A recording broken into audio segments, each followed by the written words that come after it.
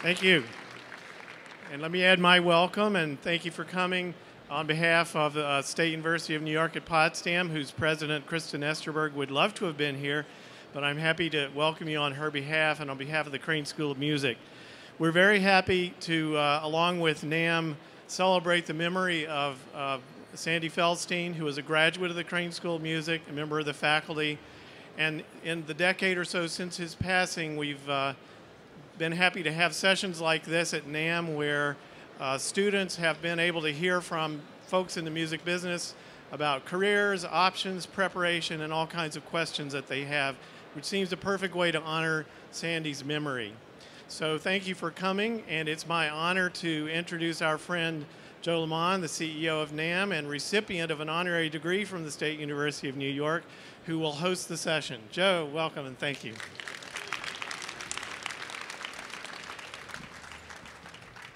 Thank you, Dean. Welcome, everybody. It's Saturday afternoon at the NAMM show. How many of you are here for the session versus how many of you are here just because there was a seat? I mean, think about the third day of the show, I imagine each and every one of you have just covered at least 15 miles a day. Is that about right, you think? Yeah. Well, welcome. Um, we've got a big mix here. I don't know if some of the college kids can come over here somehow. We can move them in a little bit. Uh, we've got a bunch of scholarship winners at NAMM, and we've got all our special guests here. That's you. And I just, first of all, I always want to start by just saying thank you. Thanks for everything you do to make this a more musical world. Everything you do every day.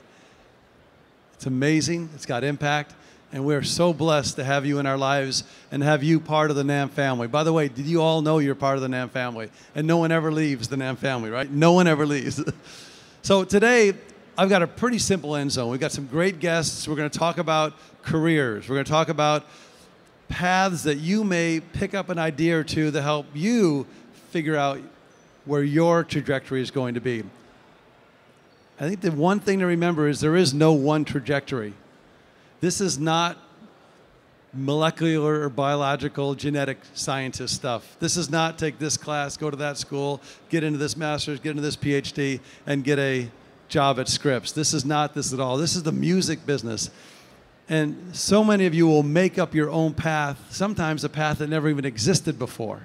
And that's the most exciting part about this industry to me. You're going to meet people today who actually created their own paths in the business, and you'll find out how they got there. So we're going to get right to it. I'm going to bring them up one at a time, and then we're going to have a joint conversation at the end. So I don't know how many of you were at the breakfast session on Thursday God, Laura, what day did you play? I'm so lost. Yesterday. That was so yesterday.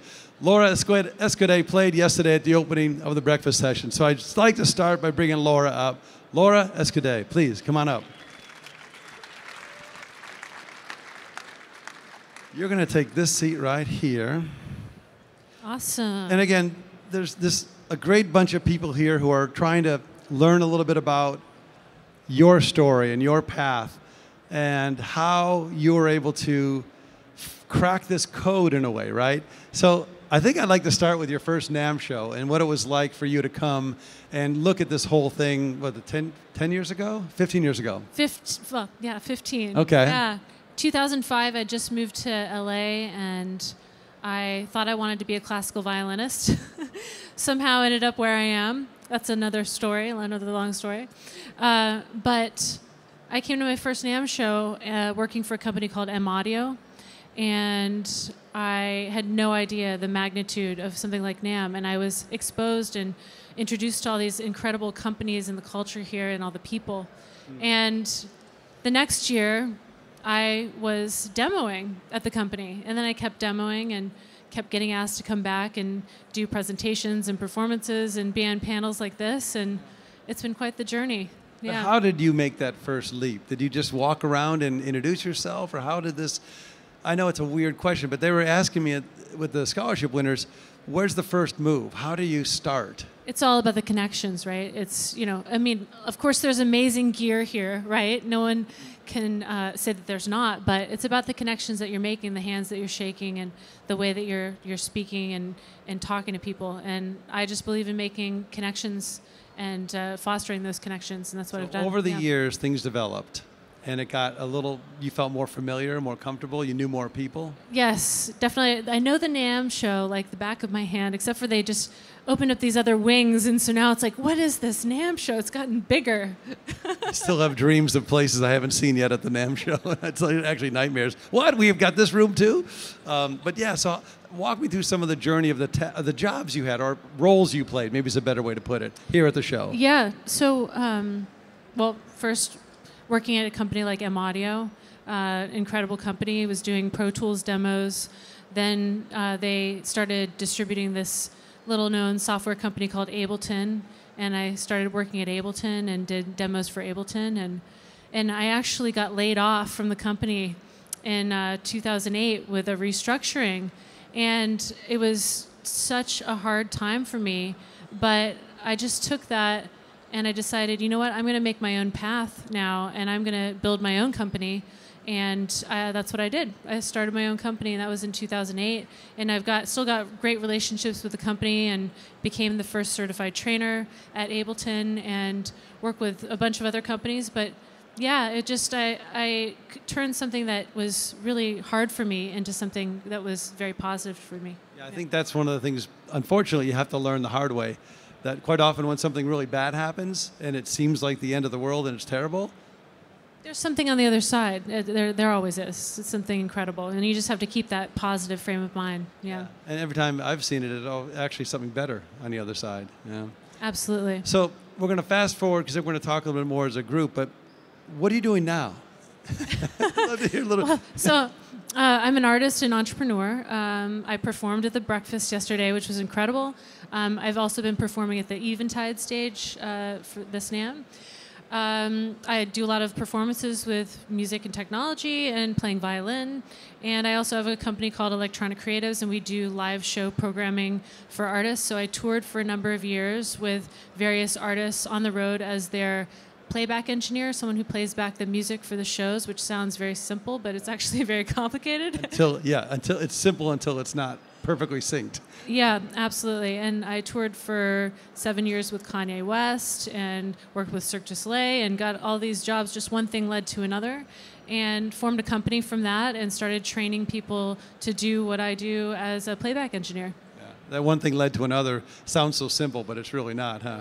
Right. Well, when you're in it, you don't see the next step, but then you start to see the next steps as they come. You know, as you tune in a little bit more, I think you start to envision what your next step's going to be. Something from the road. Did you like touring? I loved it. I mean, I love touring.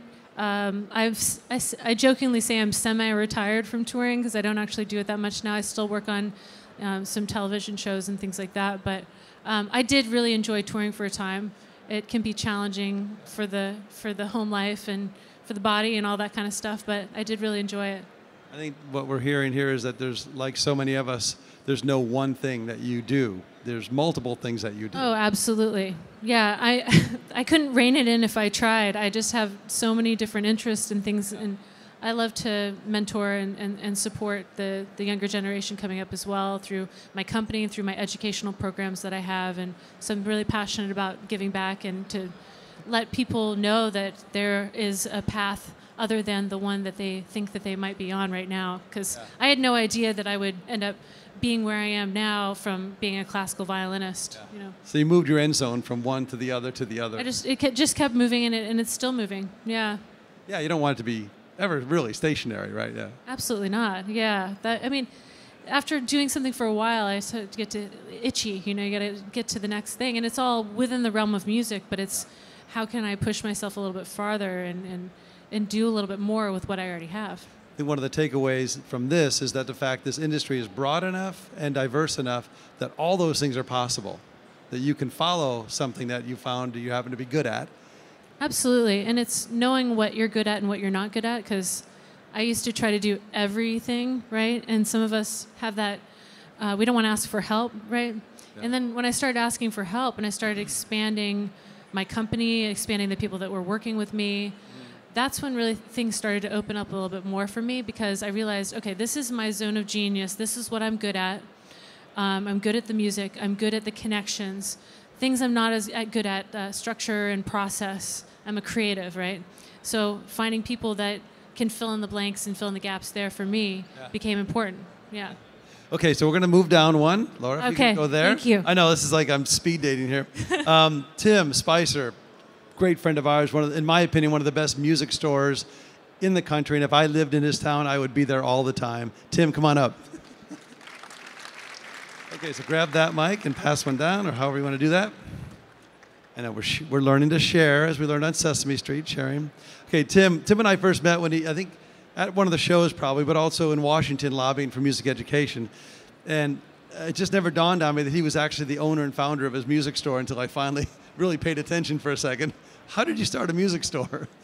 Uh, yes, so I graduated from college in 2012 with a degree in special ed, and um, it- long story short, didn't feel led after after graduation to be in a classroom, but um, really wanted to be involved with music and the music industry. I love music and I've loved it all my life, and I love working with people, and um, so it just kind of came about as an opportunity to be focused with serving people and working with people all day, every day, and then being involved in music. So it just super simple. Like Yeah. everyone can do it. It but then you said, I'm going to open a music store. How did, how did you start? What was the impetus? sure. So met with my family and said I've got this crazy idea. I want to open a, a store, and they were like, "Are you sure? Because you have a teaching certificate, and you, we spent all this money in college, and there's all you know." And um, so it was. Um, it was like a, it was kind of a whirlwind. It was like a just dive headfirst over the cliff and uh, swim as hard as you can. so I've been kind of learning as I go with this. Who helped you along the way? So mentorship is incredible, and uh, NAMYP has a pretty cool mentorship program.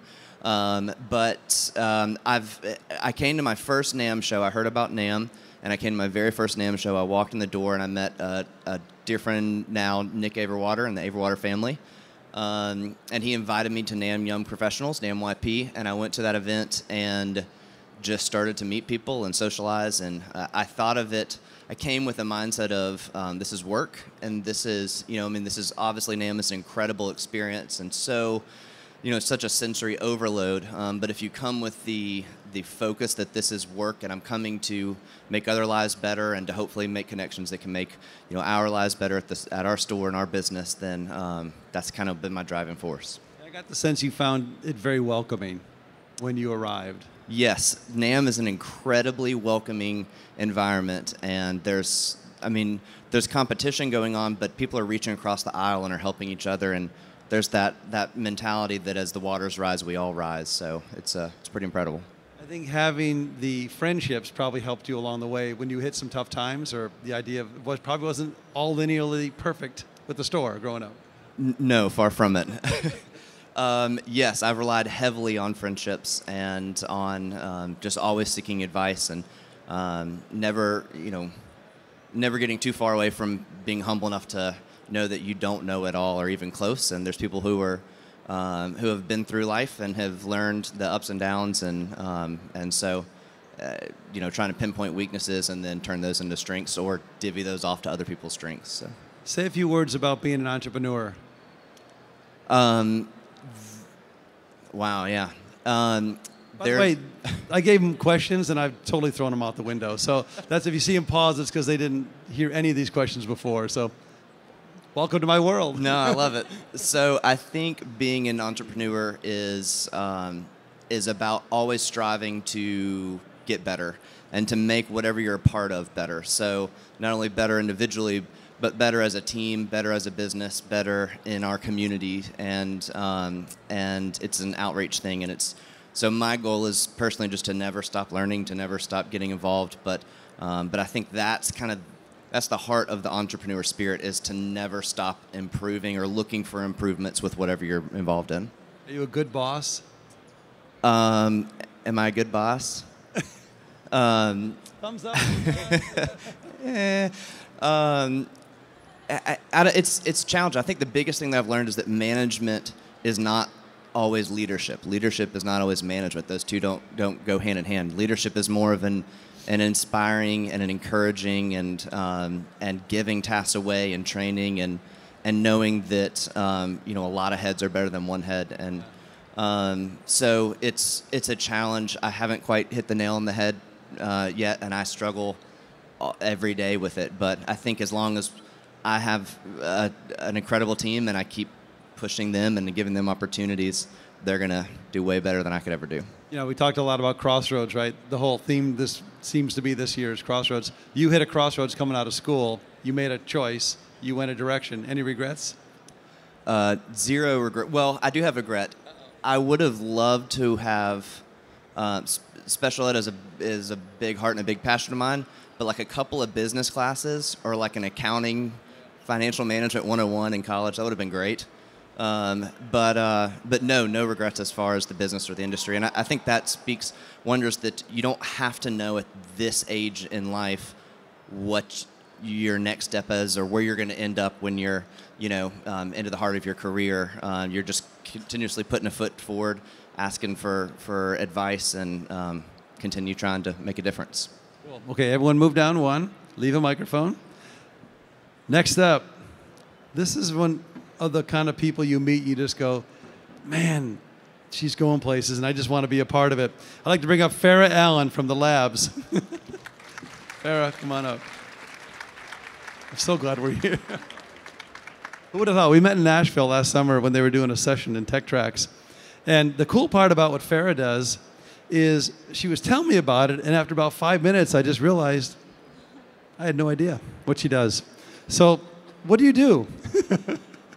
I help creatives better manage their business processes. See if you can their do better than I did, because I'm like, is that a drum? Like, what, what do you mean here? So, yeah, what do you so I mean, the creative process is is what it is. It's it's fun. It's intriguing. You're you're putting ideas together with other people. You're collaborating. What you're not doing is worrying about your intellectual property, um, ownership. At times, you're not worrying about agreements or documents in that that time period, and that's pretty much where it all starts. IP starts at the beginning. So my platform replaces um, your file sharing, your texting, your email, and yet you do all that stuff in our plat- in the Labz, and we protect you and we automate those business processes for you. So you saw a challenge that artists were having Yep. in protecting their intellectual property, or, you know, following it through its lifespan technologically, and you found a way to use technology to create a better way. A better way, a way that you don't notice that you're actually doing business. yes. So what? So was it a lot of programming? And how did you actually get it started? Did you have venture capital? How did it start? It, really, it started with the, the creative community telling me what their problem was and why it's a problem. Why, you know, really getting in the head of different types of creatives. And then after that, it really was, you know, making sure I we come up with a solution that best fits them. We developed a prototype with our own money, and once we got around 5,000 people um, on the prototype and using it every day, we got venture capital funding. So that's where we are. that right off the bat, that had that many people who saw the benefit of it and got signed up. I mean, how, what was that like? Yes. I mean, it was amazing. I mean, it's an issue that, for the beginning of time, you know, folks, the, the business is so important. And as this world changes, being an entrepreneur and a creative is extremely important. So, yeah, people really resonated with the fact that, you know, all they have to do is what they're doing today. And the stuff that they need um, in order to have a career is automatically done for them in some way. Why did you start it? Did you have another path before and say, look, I want to be an entrepreneur? What was the Yeah. what was the crossroads you faced when you started this? I've been an entrepreneur since elementary school. I, I sold candy because I found there was a need. People were hungry at 10 a.m. in the morning. and then even in high school, I sold Cutco knives. I don't know who knows that, but I, you know, saw people wanted to cut pennies with scissors. So I, you know, that didn't last very long. But I always, always had this entrepreneurial spirit and um, really you know, I, I played instruments, you know, the early years of my life. I played saxophone, and then I went to architecture school and uh, was a creative in that field. And then I came into technology and started developing software. And then I came back to music because I married someone in the music industry.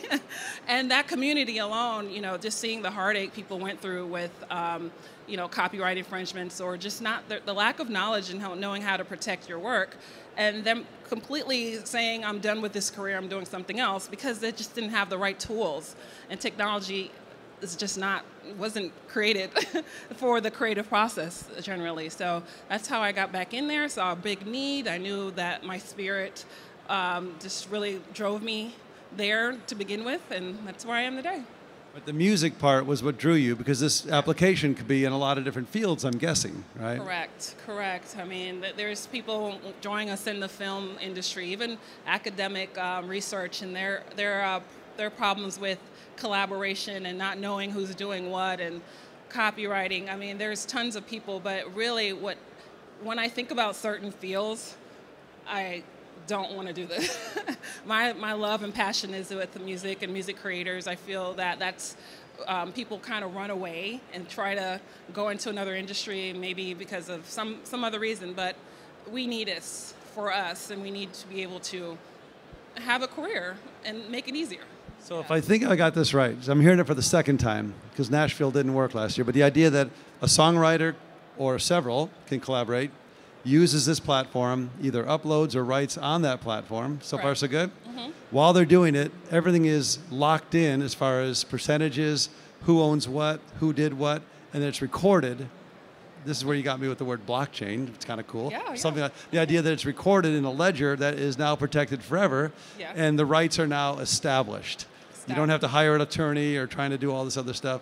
Nope. An artist can now know that their creations their content is protected in the way that they've established. Mm-hmm. They've agreed on already. So the other party can't come back and say, no, no, you said 49% was me. And no, no, it's right here. It's There established and locked in forever. And perfect, perfect. And as far as yeah, he's got it, got it. look at that. Yay! It only took twice. You know?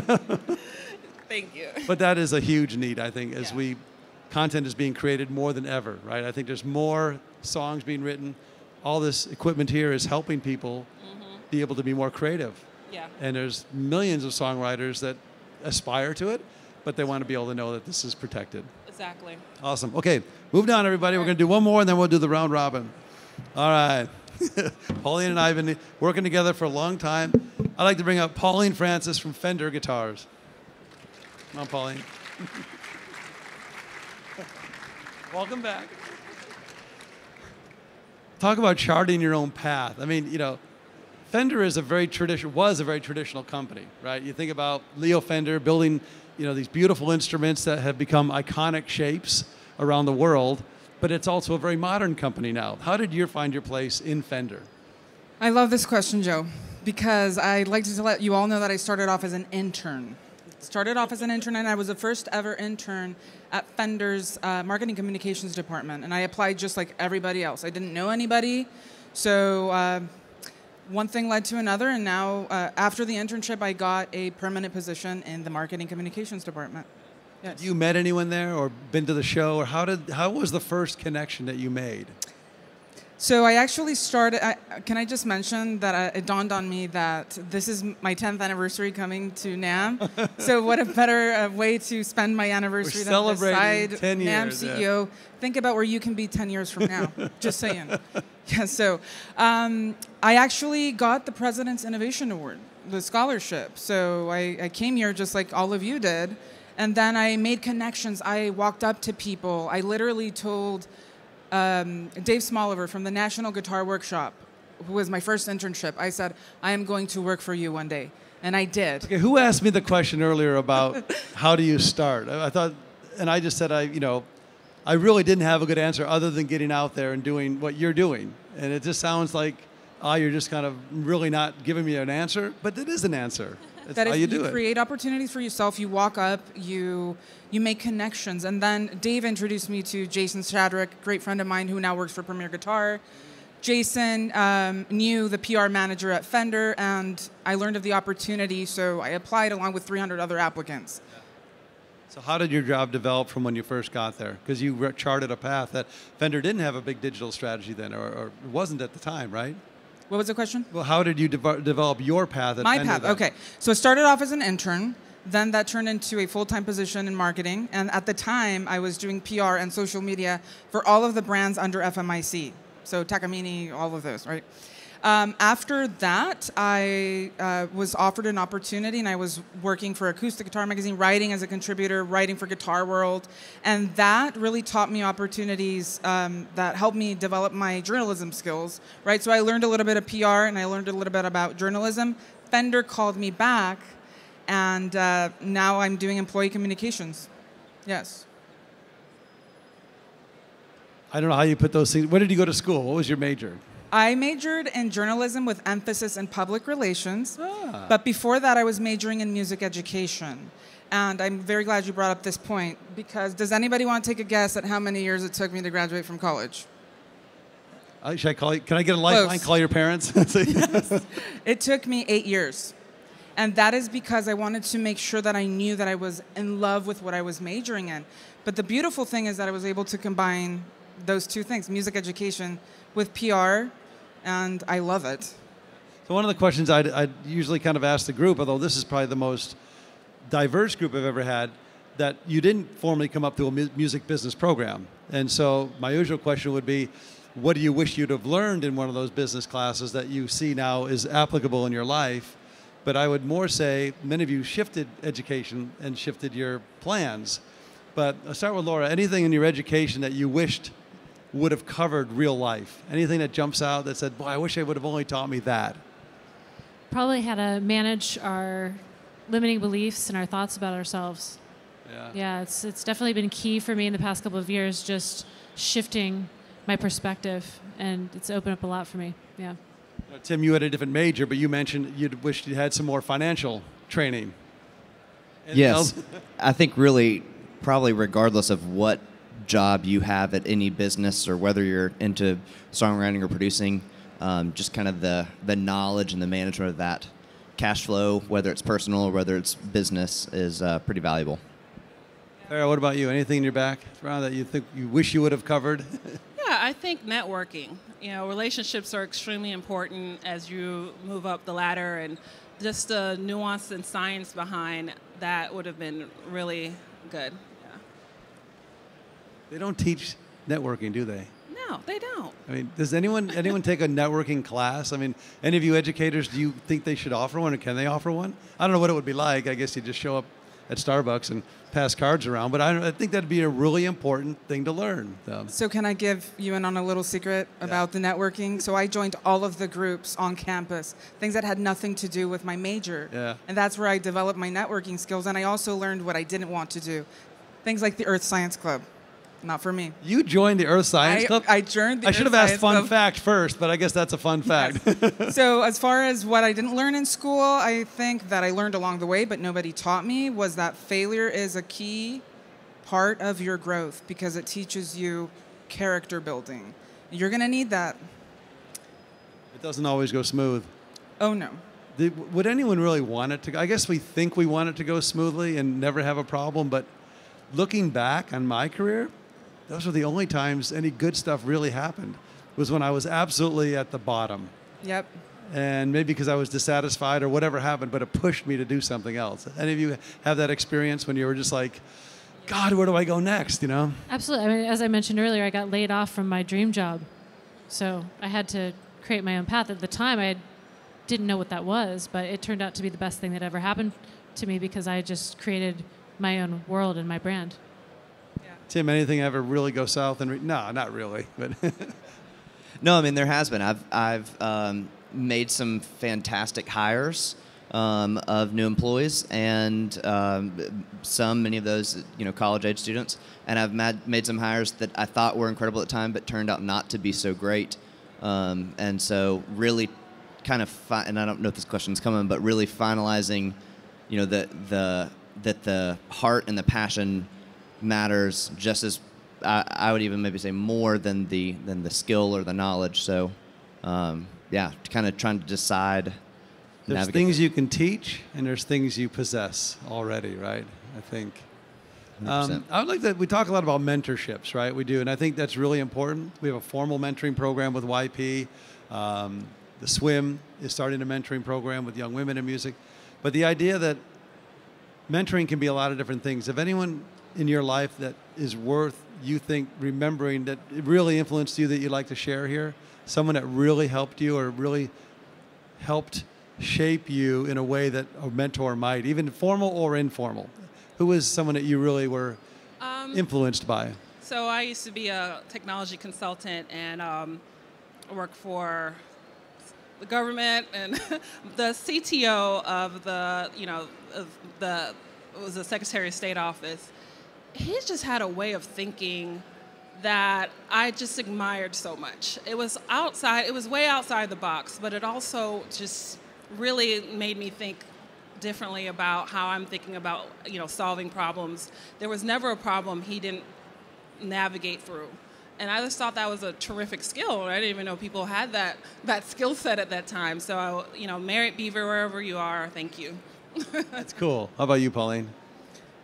Is mom a permissible answer? She's right there. She's in the audience. Then that's a yes, good start. Yes, my family has been instrumental. Um, but I would say Jason Shadrick, whom I mentioned earlier, he showed me the ropes. He uh, told me what NAMM was. I didn't know uh, at the time, and um, I want to say thank you to Jason if he's out there.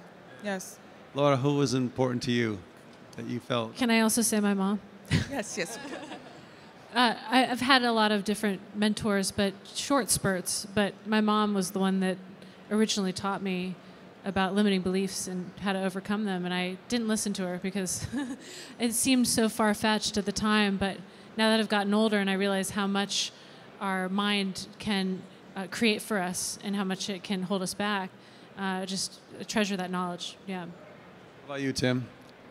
I've had a lot of mentors in the industry and, and out of the in- industry. I think the most formal mentorship and the most productive one has been with Joel Menchey, um, Menchey Music, and he's just uh, just a very very wise, sharp person. And I think when you're you know, there's there's informal mentorships, which is just relationship building and and always asking questions and always looking for growth. And there's more formal mentorship um, opportunities and programs. And I think for that, really taking the time to choose the best fit for you, or you know, get involved in something that's going to really product, you know, be productive for you. But I think we would all agree that without some of those people in our lives, we would not in anywhere be where we are today. That we owe them a debt. And I think that's part of what I think we wanted everyone here to think about is a to find someone like that or to be someone like that, to be that person. Can I add something to that quickly? People love being approached with answers. So if you if you want somebody to be your mentor, just ask them. Most people will say yes. I want to say they'll be thrilled. They will be honored. I think why are we hesitant, right? We're Yes. afraid of rejection, I guess. You know. Yes. Um, given the fact that end zones have changed so many times for all of us, and I imagine many people here too, um, if you could go back and have a sit down with yourself 10 years ago, what would you say to yourself? Any words of advice, any kind of like helpful tips, like, yeah, I wouldn't have done that one thing in Singapore. You know, I mean, anything that you would have said to your younger self 10 years ago? Let's start with you, Laura.